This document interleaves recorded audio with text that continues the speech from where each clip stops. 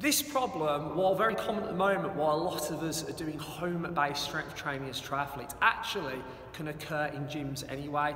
And it's mainly because of the fact is we either don't have access to much resistance or we're not very well trained or confident in being able to use resistance.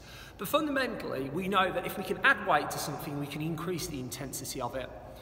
But if we haven't got the intensity, like for a lot of us we haven't at the moment because we haven't got weight lying around, unless you're lucky being stuck here something like me, is then we have to have more volume. More volume means more reps. Now, more reps isn't ideal because, as I've alluded to a load of times, that as intensity drops, if it hits below a certain point, we're not going to start to train many of the benefits we need to turn on and recruit the muscles to be more powerful for swim, bike, and run. But we, we, we're in a position where we've got no choice at the moment. So there's a way that we can work around this and make sure we can maximise the benefit in the best way possible. Yeah, I've heard no one talk about this.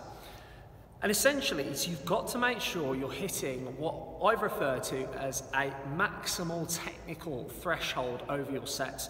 By that, what I mean is you've done the maximal number of reps you can each set without compromising technique. So your first set might look like 30 reps. Your next set, 26 reps. Then 24 reps and 23 reps. It descends.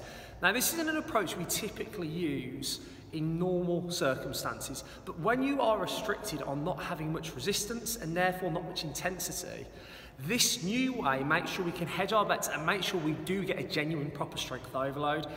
Because research shows that if you want to get the benefits from low resistance strength training, you have to work to this threshold. Some people call it failure. I don't use that because failure can mean different things to different people. But if you don't go to that technical threshold of fatigue that I'm talking about, you're really not going to get much. In fact, you're probably going to detrain quite badly compared to what you did at the gym.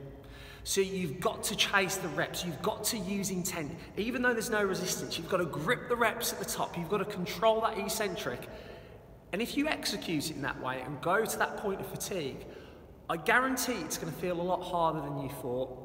Whereas instead, if you kind of go through the reps and kind of bouncing up and down at them, being really loose, using lots of momentum and muscles from other areas of the body that we don't want to use, you're going to kind of not feel like you work that well and you're going to do more reps, but the more reps won't really count for much.